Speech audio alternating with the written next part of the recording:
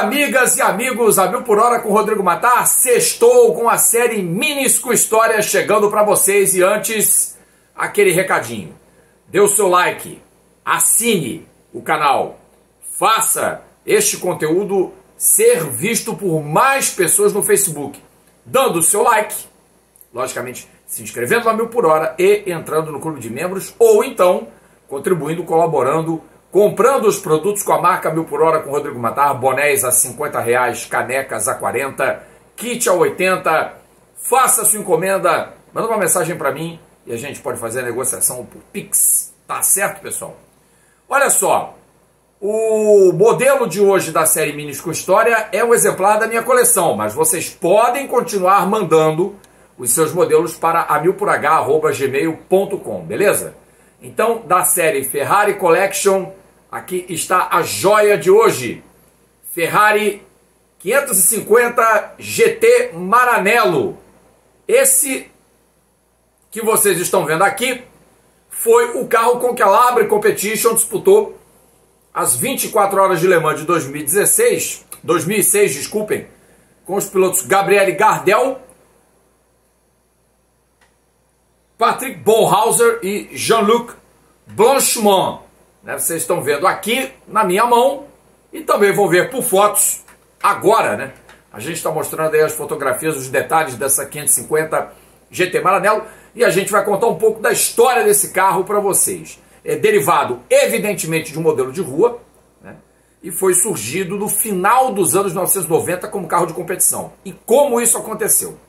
A Ferrari, que está voltando agora com a equipe oficial de fábrica no FIAWEC com o Hypercar, desde que foi desmantelado o time de esporte protótipo em 73, ela sempre teve o costume de ter clientes e builders montando os seus carros de competição. Claro, partindo do chassi do modelo original, mas transformando o carro em modelo de corrida. Ela sempre autorizou isso acontecer. Nunca a Ferrari foi refratária a, se, a que se construíssem carros de corrida com o seu nome né? desde que conservando as características dos seus modelos originais. E foi o caso da 550, que por incrível que pareça, começa como um modelo GT3. Lá atrás, há 24 anos atrás, em 1999. Cortesia de um francês chamado Michel Enjolras, com a Red Racing. Esse carro depois é vendido para a, uma equipe chamada XL Racing, que corre provas do American Le Mans Series e também as 24 horas Le Mans dentro do regulamento chamado LMGT, que é, era depois a GT2. Ainda no ano de 99, a Ital Técnica é a primeira, depois desse projeto do Michelin Jorrat, a Ital Técnica é a primeira a montar o carro no conceito GT1, que tinha sido adotado em 98 ou 99, não estou bem ao certo, quando acabaram 99. Quando acabaram os supercarros de GT, é, e nessa seara estavam a Mercedes, que o Ricardo Zonta foi campeão mundial em 98, a McLaren BMW, o Lister Jaguar, que depois foi transformado em LMGT1 novamente, o Viper era GT2, virou GT1, porque teve um, um decréscimo também de capacidade cúbica do motor, o Marcos LM600 e a Ferrari entrou nessa seara com a 550 e começou com a Red Racing, também na França, com a equipe First, no FIA GT, tendo como um dos seus pilotos o famoso lá detrás, o Jean-Denis Deletraz. Em 2000, com a ajuda de investidores, a Ferrari é, pôs um pouquinho mais de frente aí nesse projeto, mas ainda assim de forma oficiosa, ela apoiou a construção de mais carros pela Italtécnica. E esses carros foram entregues a clientes como a equipe de Gabriele Raffanelli, a Force One da França e a Dart, do Charlie Nickerson, que era o braço direito do Tom Walkinshaw, inclusive correndo com o patrocínio da Red Bull no FIA GT. Mas, além desse projeto da Itotécnica, houve outros dois. Um que não teve tanto destaque, do, da família Witt da Áustria, que correu vários anos no FIA GT sem muito sucesso, de Fans e Nico Witt, que eram carros até pintados de laranja, hora de branco, hora de amarelo.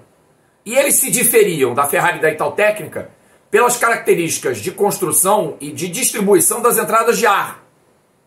Né? É, todos esses carros diferiam entre si, tanto a Ferrari da Italtécnica quanto essa da Witt, que foi desenvolvida na, na Alemanha, e a terceira, que foi um, um pedido de Frederick Dorr, da Care Racing Development, a David Richards. O ateliê de David Richards é quem faz as melhores Ferrari 550 de competição. ProDrive, que a partir de 2002 encampa a construção e faz 10 carros Ferrari 550 GTS Maranello, que foram entregues a diversos clientes, entre eles a BMS Scuderia Itália. Sim, aquela mesma, a Brixia Motorsport, antiga equipe de Fórmula 1. Também a equipe Manx, se não me engano, para a Cirtec, também. Uh, a Labre Competition, que é essa aqui, né, desse carrinho, né, que vocês estão vendo aqui o numeral 50, que inclusive era um carro da ProDrive, que foi entregue após as 24 horas de Le Mans de 2004, foi repassado esse chassi a Labre Competition, e ela ficou com esse carro até 2006. Depois, esse carro ainda teria serventia, mesmo com a Ferrari já sem muito desenvolvimento, para a escuderia do ACA, do Automóvel Clube de Argentina, que teve como pilotos Martin Basso, Esteban Tuero, Gaston Mazacane e, acreditem, José Maria Lopes. Os quatro guiaram essa Ferrari aqui, só que, claro, com outra cor, né, com patrocínio e com apoio do Automóvel Clube de Argentina o ACA. Então foi um carro que teve muita vida útil e foi guiado por muita gente boa. David Brabham, Danica Patrick andou nesse carro, Rika Rydell, Jamie Davis, Kelvin Burt, isso para lembrar alguns, né?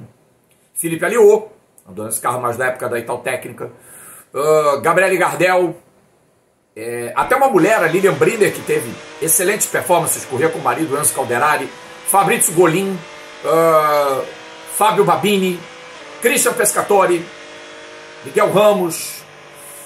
Nossa, os nomes às vezes me fogem, mas acho que no cômputo geral é esse. Emanuele Naspetti, também andou de Ferrari 550.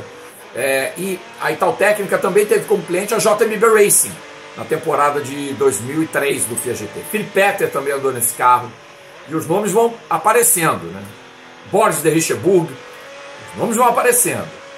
Uh, e um proeminente, um, uma personagem maravilhosa, que vai merecer um TBT um dia, com certeza vai merecer um dia um TBT, Colin McRae. Colin McRae, a lenda do rally que disputou duas edições das 24 horas de Le Mans de Ferrari 550 Maranello. Mais um que eu lembrei, Ian Lumbers também guiou esse carro. Olha como é que os nomes vão vindo. A gente consegue lembrando. Thomas Eng, mais um que andou na Ferrari. Darren Turner, acho que Darren Turner não, acho que Darren Turner foi Aston Martin dele. Não, não, Darren Turner também andou de ProDrive, também andou, corrijo-me agora. Inclusive andou com Colin McRae, 24 horas de alemão.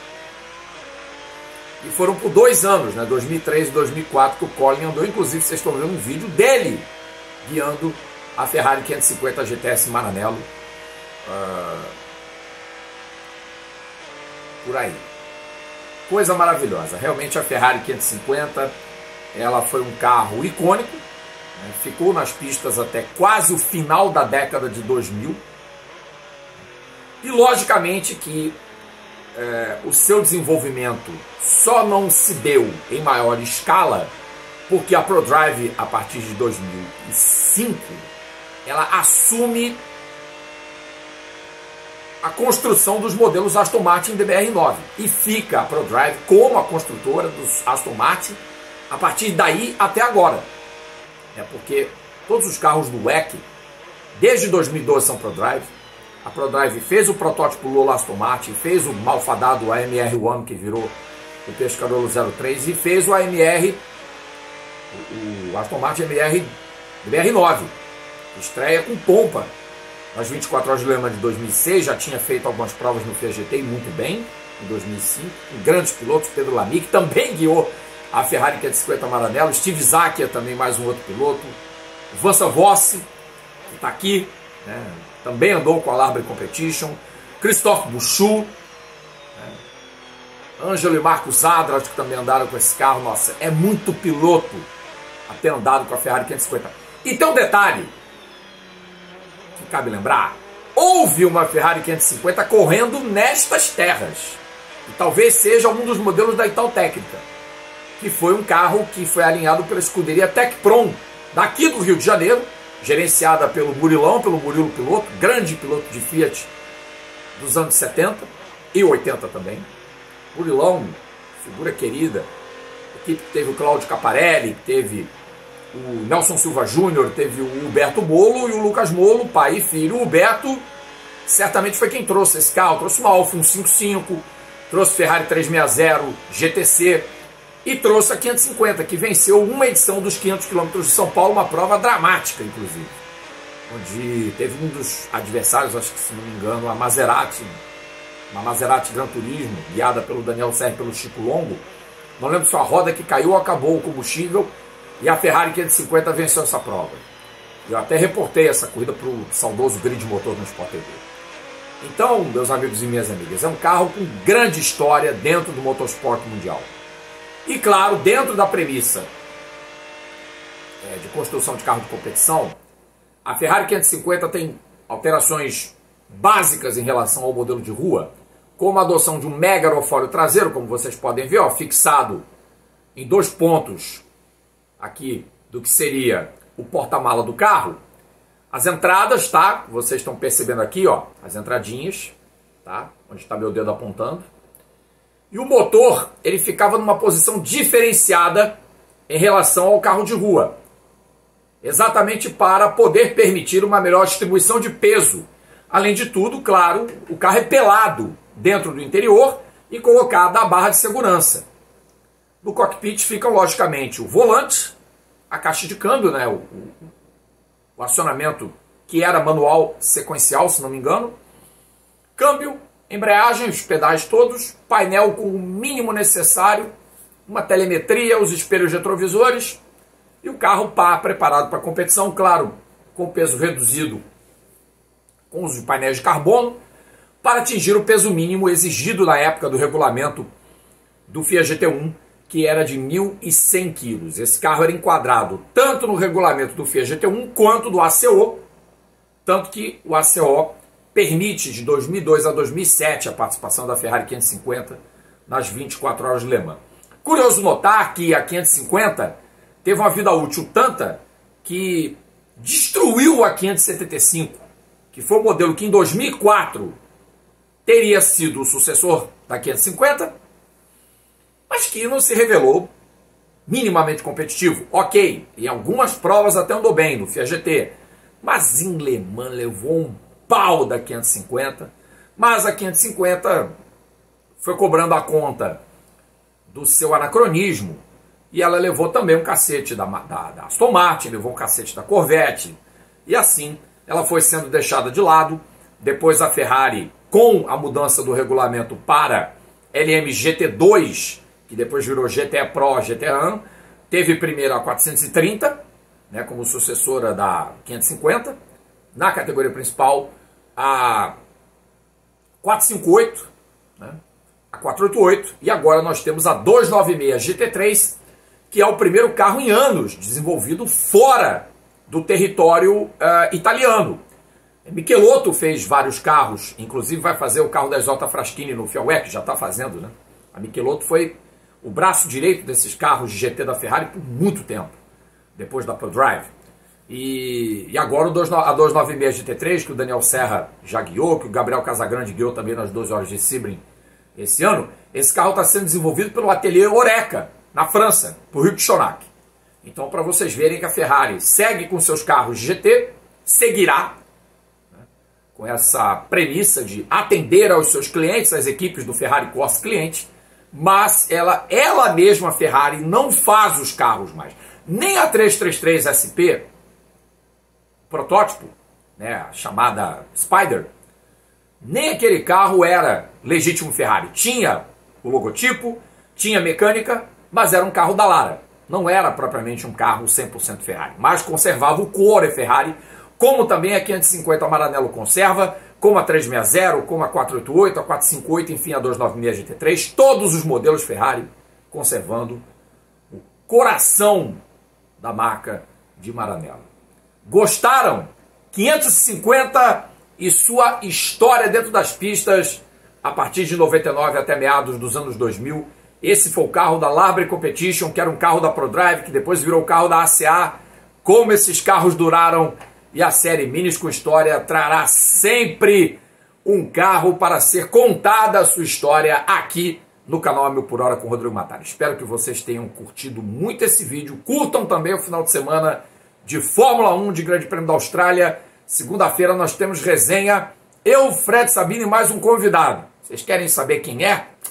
Eu conto hum, hoje. Não, vou deixar a surpresa, eu conto no domingo para vocês. Tá certo, pessoal? Bom final de semana a todas, bom final de semana a todos. A gente se vê sempre com conteúdo inédito e com lives aqui no canal. Fui, tchau!